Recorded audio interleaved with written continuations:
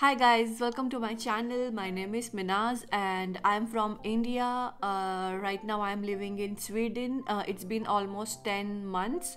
Uh, बहुत ज़्यादा time नहीं हुआ है uh, और इससे पहले हम लोग रहते थे डेनमार्क में ऑलमोस्ट ईयर एक साल मतलब इंडिया से बाहर आके ऑलमोस्ट टू इयर्स होने वाले हैं हम लोग को।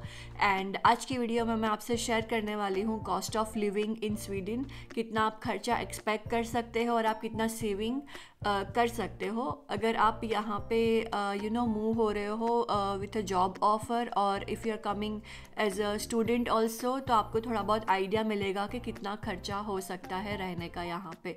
And I hope video helpful रहेगी एंड अगर आपको लगता है कि किसी और को हेल्पफुल होने वाली है तो प्लीज़ इसको भी फॉरवर्ड कीजिए एंड अगर आपके और कोई सजेशंस है और फीडबैक है प्लीज़ मुझे कमेंट सेक्शन में बताइए। Before starting this video it's a request कि अगर आप चैनल पे नए हो तो प्लीज़ चैनल को सब्सक्राइब कीजिए और वीडियो अगर अच्छी लगती है तो प्लीज़ लाइक कीजिए।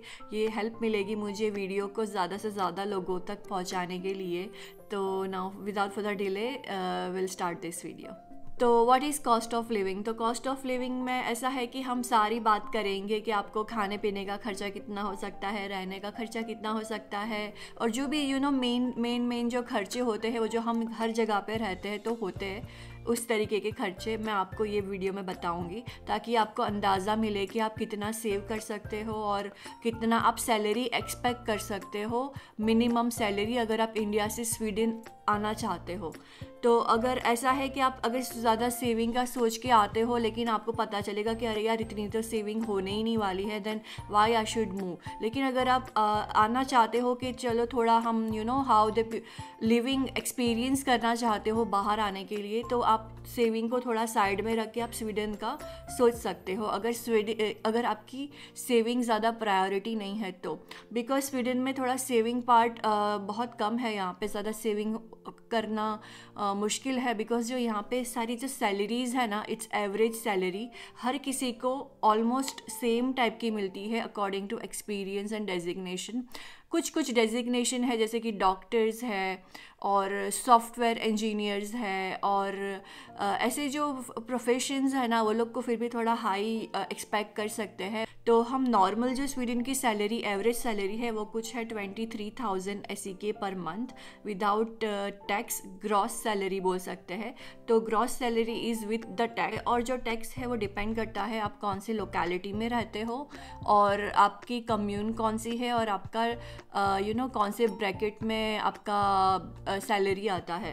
तो टैक्स कैलकुलेट करने के लिए यहाँ पे एक वेबसाइट है। तो वो वेबसाइट की लिंक जो है वो मैं यहाँ पे डिस्क्रिप्शन में डाल दूँगी ताकि आप खुद से भी टैक्स कैलकुलेट कर सके। और अगर आप आईटी प्रोफेशन प्रोफेशन में है और आप आ रहे हो तो आप एवरेज सैलरी एक्सपेक्ट कर सकते हो थर्टी फाइव थाउज़ेंड एस के तो हम thirty five thousand S K amount एक लेते हैं और उसके हिसाब से हम जो है हमारा कॉस्ट एड ऑन करके जाते हैं and then we will see at the end कि हमारी कितनी सेविंग होती है। सो so, हम सबसे पहले लेते हैं टैक्स टैक्स कट करते हैं। तो स्वीडन का एवरेज टैक्स है ट्वेंटी टू थर्टी परसेंट और आपका एक जो पर्टिकुलर अमाउंट होने के बाद ऊपर के अमाउंट पे एक्स्ट्रा ट्वेंटी परसेंट टैक्स लगता है तो वो लोग का टैक्स कुछ फिफ्टी परसेंट हो जाता है not on all the amount but the जो एक रेंज है उसके ऊपर होने के बाद ट्वेंटी परसेंट एक्स्ट्रा हो जाता है। तो हम थर्टी फाइव थाउज़ेंड की सैलरी पर अगर टैक्स काउंट करते हैं तो आफ्टर कटिंग टैक्स हमारा इन हैंड अमाउंट आता है twenty six thousand six hundred S K per month after cutting your tax तो सबसे ज़्यादा अमाउंट आप ऑलमोस्ट टेन थाउज़ेंड जो है आपके टैक्स में चलेगा। ठीक है, ये टैक्स हो गया। अब टैक्स होने के बाद नेक्स्ट बड़ा सा अमाउंट आता है आपका हाउस रेंट तो अगर हम हाउस रेंट की बात करें तो यहाँ पे हाउस भी दो तरीके के मिलते हैं। एक तो फ़र्स्ट हैंड हाउस होता है और एक सेकेंड हैंड हाउस होता है। सेकेंड हैंड हाउस मतलब आप किसी का फ़र्स्ट हैंड हाउस रेंट पे ले रहे हो। जैसे कि ऑलरेडी कोई रेंट पे रह रहा था और वो सबलेट कर रहा है। That is your second hand house और फ़र्स्ट हैंड हाउस वो होता है जो डायरेक्टली ओनर के थ्रू रेंट पे लिया हुआ रहता है। तो यहाँ पे दो तरीके के होते हैं।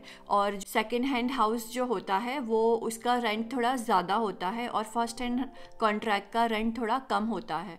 तो अगर आप बड़ी सी सिटी में रह रहे हो, जैसे कि स्टॉकहोम तो वहाँ पे आपको सेंटर में अगर घर ले रहे हो तो आपको बहुत ही महँगा पड़ सकता है और थोड़ा आउटस्कर्ट में थोड़ा सस्ता पड़ जाएगा। तो हम रेंट का भी एक रेंज ले लेंगे, जैसे कि आप स्टूडियो हाउस है या तो एक रूम का हाउस है, उसका आपको ना रेंट पड़ेगा एवरेज फाइव थाउज़ेंड हम एवरेज पकड़ रहे हैं फाइव थाउज़ेंड का पड़ सकता है एक रूम वाला और दो रूम वाला, यानी कि वन बेडरूम हॉल और उसके साथ किचन टू रूम है तो आप एवरेज जो रेंट आप ले सकते हो टेन थाउज़ेंड के आसपास, आपको आठ हज़ार का भी मिल जाएगा, बारह हज़ार का भी मिल जाएगा, तेरह हज़ार का भी मिल जाएगा। On an average we will take as a ten thousand rent for a two room house और थ्री रूम का आपको अराउंड फिफ्टीन थाउज़ेंड एस का मिल जाएगा। तो हम आप लिखते जाइए कि आपको uh, कौन सा हाउस है आपका and then how much you can expect your you know house rent now we will talk about कि आपके हाउस से रिलेटेड कौन कौन से खर्चे आ सकते हैं। यूटिलिटी कॉस्ट बोल सकते हो आप। तो यूटिलिटी कॉस्ट में बहुत सारे हाउसिंग जो होते हैं उसके अंदर हीटिंग चार्ज इंक्लूड होता है। हीटिंग चार्ज इंक्लूड रहता है वाईफाई इंक्लूड रहता है केबल कनेक्शन इंक्लूड रहता है बेसिक केबल कनेक्शन और hot water cold water charge include रहता है। इतना इंक्लूड रहता है एंड uh, क्या इंक्लूड नहीं हो सकता तो इलेक्ट्रिसिटी बिल इंक्लूड नहीं हो सकता है। अब हम हमारे थर्ड खर्चे की तरफ़ आते हैं। थर्ड खर्चा है हमारा आ, खाने का खर्चा। तो फ़ूड कॉस्ट यहाँ पे कितना हो सकता है? एज इन इंडियन हमें अच्छे से पूरा यू नो प्रॉपर फ़ूड खाने की आदत होती है देसी खाना हमारा। तो हमें थोड़ा महँगा पड़ सकता है लेकिन अगर आप यहाँ के लोगों के जैसा खाना प्रीफर करते हो सलाड एंड ऑल तो आपका बहुत ही सस्ते में निपट जाएगा। And if you prefer to cook at home three times तो भी थोड़ा आपको सस्ता पड़ जाएगा। अगर लेकिन आप बाहर खाना पसंद करते हो थोड़ा बहुत uh, जैसे कि one time in a day तो थोड़ा आपका ना फ़ूड एक्सपेंसेस बढ़ जाएगा। तो अगर हम बात करते हैं कि अगर अपना, आपका यू नो खाना सब घर पे बनाते हो तो आपका कितना खर्चा हो सकता है। तो फ़ूड का cost on an average for family of two plus child आपका ऑन एन एवरेज खर्चा आ सकता है five thousand S K for non vegetarian family जिसमें नॉन वेज भी आएगा and everything fish sea food and everything तो on an average five thousand S का खर्चा आपको पर मंथ पड़ सकता है।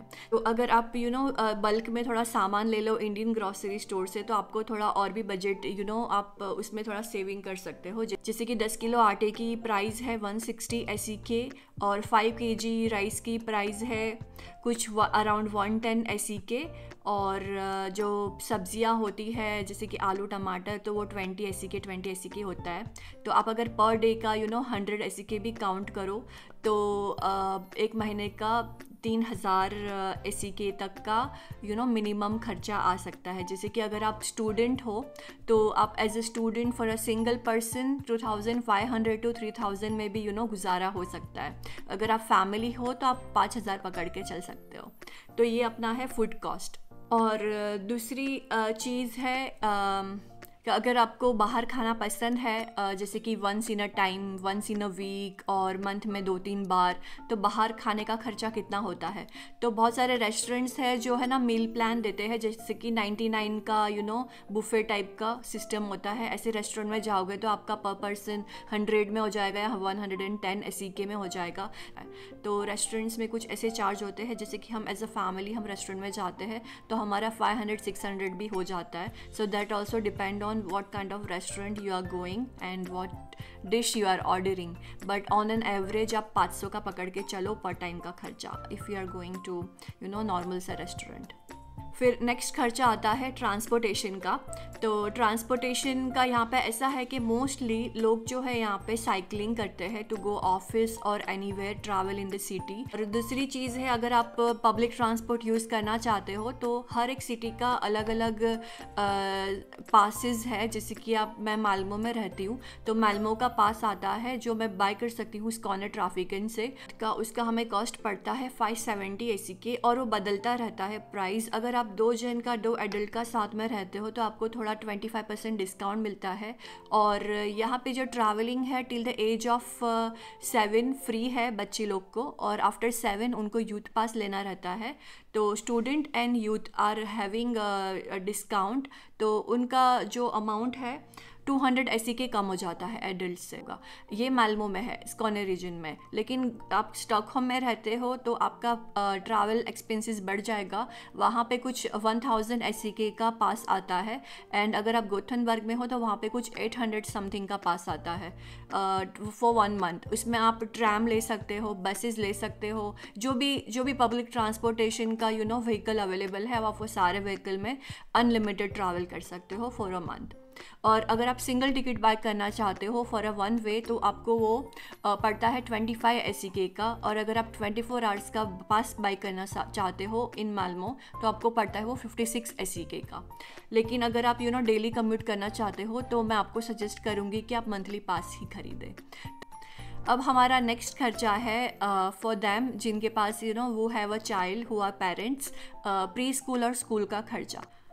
तो प्री स्कूल का यहाँ पे खर्चा कितना होता है? तो प्री स्कूल जो है डिपेंड करता है कि आप कितना टाइम रख रहे हो बच्चे को प्री स्कूल में एंड आप कितना अर्न करते हो, आपका फैमिली इनकम कितना है और आप कौन से कम्युनिटी में रहते हो, कौन से रीजन में रहते हो आप स्वीडन के?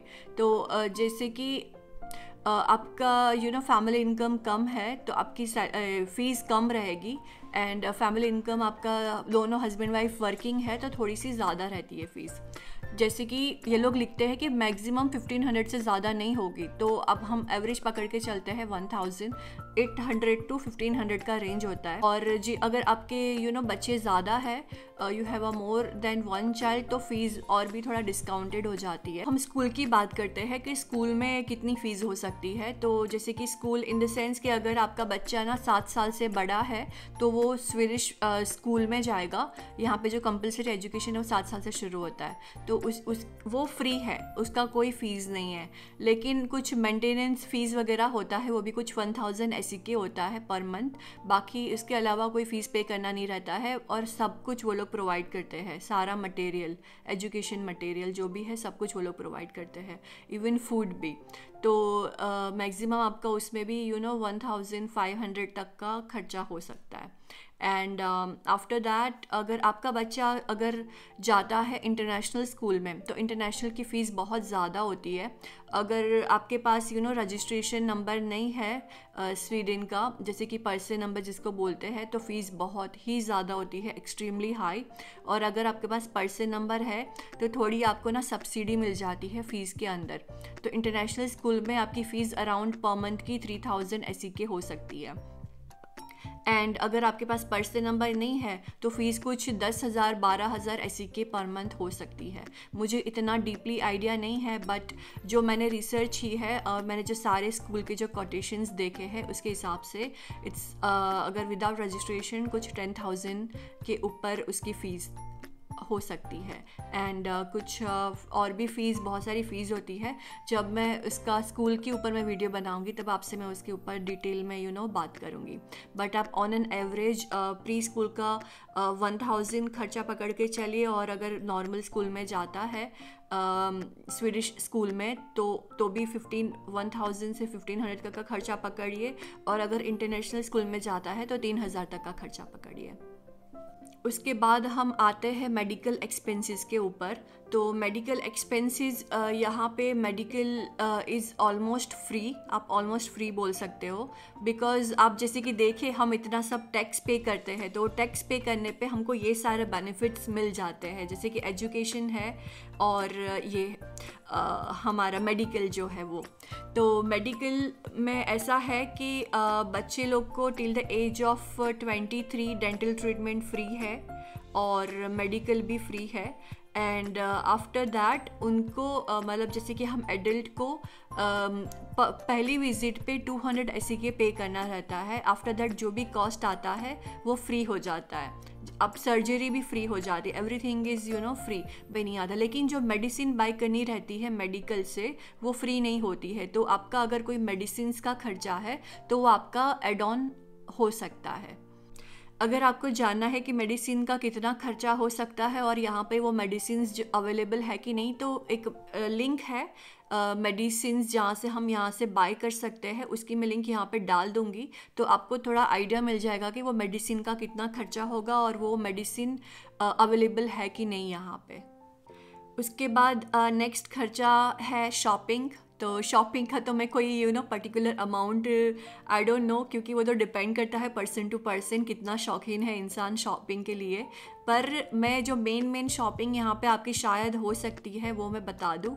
तो एक तो है आपका you know this winter wears तो विंटर वेयर्स आपको around five hundred to one thousand S का मिल सकता है यहाँ पे। और फिफ्टीन um, हंड्रेड तक का भी जा सकता है। If you are buying from H and M और लिंडेक्स वहाँ से विंटर वेयर तो उसका वो खर्चा हो सकता है। और ऑन एन एवरेज आप थोड़ा बहुत बाई करोगे तो आप उसका भी खर्चा you know monthly one thousand two thousand S K पकड़ के चल सकते हो। उसके बाद और एक खर्चा आ सकता है यू नो जनरल कॉस्ट जैसे कि मोबाइल मोबाइल बिल्स और जनरल इंश्योरेंस तो इंश्योरेंस तो मेडिकल इंश्योरेंस तो लेने की ज़रूरत नहीं पड़ती है because everything is free as you know तो बाकी दूसरा जो इंश्योरेंस हम लेते हैं होम इंश्योरेंस लेते हैं और जॉब इंश्योरेंस लेते हैं। तो तो वो इंश्योरेंस का अमाउंट कुछ जाता है फाइव हंड्रेड ऐसी के तो एक वो एक्सपेंस बढ़ सकता है if you are buying insurance here और उसके बाद है मूवी मूवी की टिकट कुछ वन हंड्रेड और वन थर्टी एस के जितना हो सकता है मूवी का खर्चा। अब उसके अलावा आपका ईयरली खर्चा आ सकता है ट्रैवल का, जैसे कि आप कहीं घूमना चाहते हो या if you want to go India India का ट्रिप हो गया तो उसका भी कुछ आप twenty ten thousand to twenty thousand पकड़ के चल सकते हो। तो ईयरली जो आपका खर्चा आ सकता है, ऐसी कुछ यू नो एटलीस्ट एक बार भी आप ट्रैवल करोगे तो ten thousand to twenty thousand का। तो आप वो अपने ईयरली यू नो बजट में से काउंट कर लेना। तो आई थिंक मैंने ऑलमोस्ट सारा खर्चा यू नो कवर कर लिया। तो हम एक बार फिर से ये रिवाइज कर लेते हैं कौन सा खर्चा कहाँ और कितना माइनस हो गया, कितना बच गया। तो अब है फाइनल हमारे प्रेजेंटेशन की बारी। सबसे अपनी सैलरी हमने डिसाइड किए थे thirty five thousand thirty five thousand में से गया हमारा टैक्स टैक्स गया हमारा एवरेज टेन थाउज़ेंड और फिर गया हमारा रेंट टेन थाउज़ेंड तो हमारे पास बचा thirty five thousand minus twenty thousand fifteen thousand बचा हमारे पास. और फिफ्टीन थाउज़ेंड में से हमारे पास गई ग्रॉसरी हमारे पास ग्रॉसरी का खर्चा on an average five thousand S K, अगर आप यू नो सिंगल पर्सन हो तो आप तीन हज़ार में भी गुजारा कर सकते हो। इसके अंदर मैंने सारा कवर किया है, हमारा शैम्पू एवरीथिंग ग्रॉसरी और हाउस होल्ड थिंग्स सारा आ गया इसके अंदर फाइव थाउज़ेंड ऐसी के। और तो अभी हमारे पास बचा टेन थाउज़ेंड अब टेन थाउज़ेंड के अंदर ट्रांसपोर्टेशन का खर्चा एक हज़ार नाइन थाउज़ेंड बचा हमारे पास अभी। नाइन थाउज़ेंड में से गई हमारी स्कूल की प्री स्कूल फ़ीस, जो उसका एवरेज काउंट किया था वन थाउज़ेंड तो बचा हमारे पास एट थाउज़ेंड। अब एट थाउज़ेंड में से बाकी का जो भी depend on your lifestyle जो भी खर्चा है, जैसे कि जिम का मेंबरशिप है, वो कुछ तीन सौ का आता है। लेकिन आप यू नो वर्किंग हो तो आपको वो कंपनी से यू नो रिम्बर्स कर सकते हो। उसको बोलते हैं वेलनेस अलाउंस जो कंपनी की तरफ़ से मिलते हैं। इवन जो चाइल्ड अलाउंस है, वो भी मिलते हैं। वो भी on an average fifteen hundred के आसपास one thousand to fifteen hundred के आसपास मिलते हैं। तो चाइल्ड का भी खर्चा यू you नो know, बच सकता है but I am not deducting right now तो हमारा कुछ खर्चा हुआ था। कितना बचा हमारे पास? आई फॉरगॉट अब uh, हमारे पास बचा एट थाउज़ेंड तो एट थाउज़ेंड में से और हम uh, निकालेंगे एक्स्ट्रा एक्सपेंसेस जैसे कि शॉपिंग के तीन हज़ार। तो अभी हमारे पास है फाइव थाउज़ेंड और उसके बाद है इंश्योरेंस अमाउंट फाइव हंड्रेड और प्लस मोबाइल रिचार्ज और समथिंग तो उसका फाइव हंड्रेड तो अब है हमारे पास थाउज़ेंड फाइव हंड्रेड फिर आपको एक मूवी देखने चले गए तो उसका वन थर्टी टिकट होता है, और बाकी पार्टी वार्टी किए तो और समझ लो उसका और हम फाइव हंड्रेड निकाल दिए तो हमारे पास बचा फोर थाउज़ेंड तो ऑन एन एवरेज अगर आपके पास you know thirty five thousand की सैलरी है तो आपके पास ऑन एन एवरेज सेविंग हो सकती है फोर थाउज़ेंड की। Which is not very much और उसके बाद आपका ईयरली खर्चा आएगा ट्रैवल uh, का if you want to go to India तो उसके बाद जो भी अमाउंट बचता है दैट इज़ योर सेविंग वो खर्चा होने के बाद। अगर आपकी सैलरी ज़्यादा है तो you will be saving little more tax थोड़ा ज़्यादा जाएगा but of course you will be saving little more amount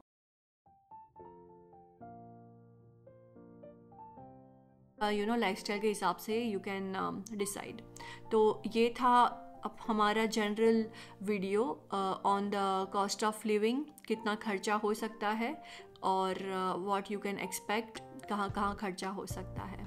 so I hope एक आपको अंदाज़ा मिल गया होगा कि यहाँ पे आने के लिए आप कितना सैलरी एक्सपेक्ट कर सकते हो। अगर आप इंडिया में इससे ज़्यादा यू नो सेव कर रहे हो तो please stay in India or um, for saving of course. And you, if you want to experience something different please come to sweden. Sweden is and बहुत ही अच्छी जगह है। um, बस तो बस यही एक है कि आप अपने यू नो एस्टिमेशन लगाइए। This everything was on average basic था एकदम। और अगर आपको लगता है कि you know if I am missing out something and if you want to know anything particular please let me know in the comment section और मैं आपको जल्द से जल्द उसका रिप्लाई करूँगी if possible and you can also connect me on my Instagram please video को like कीजिए और um, आपसे मिलूँगी मैं नेक्स्ट वीडियो में. तब तक के लिए take care and bye bye